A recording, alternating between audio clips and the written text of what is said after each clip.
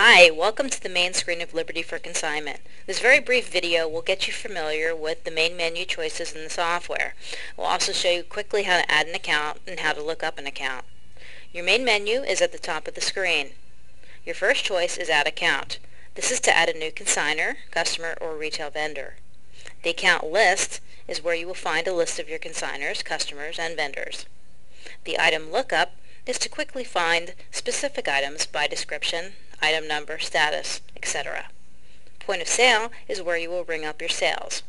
Reports, this is the module that will create a wide variety of important reporting information on your sales, inventory, and much more.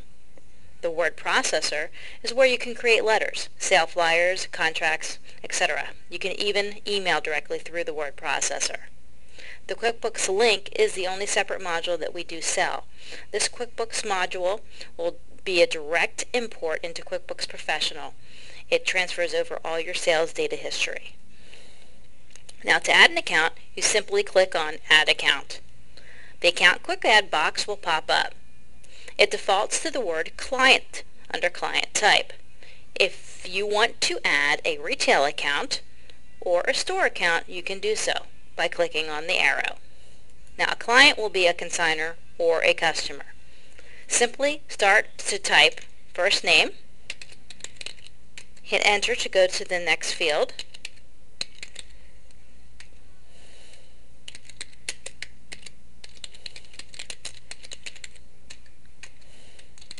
Now if the zip code is already in the system, it will fill in your city and state for you.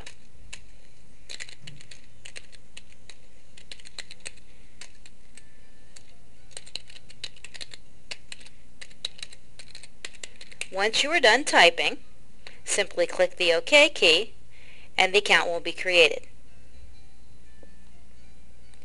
Here's your account screen that has just been created. It is account number 11. That is the next account number in line.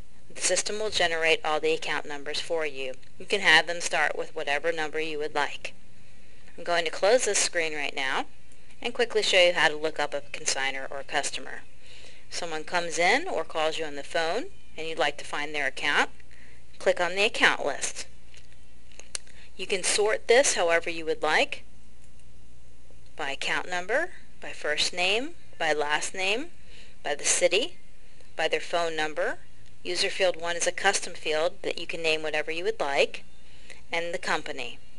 And most people find a person by their last name or their phone number. So you want to leave it at whatever you would normally use. So I'm going to go ahead and use last name. And I'm going to click the default field so that every time I go into this lookup, it'll come up in alphabetical order. Now if I want to go ahead and find the customer I just put in, which was, uh, I believe, Linda Tavani, I just simply hit the T, and it goes right down to the T's. Now, being that Linda Tavani is the only T in there, she went right, it went right down to her account. And if I'd like to pull it up, I can hit Enter, and up comes the account.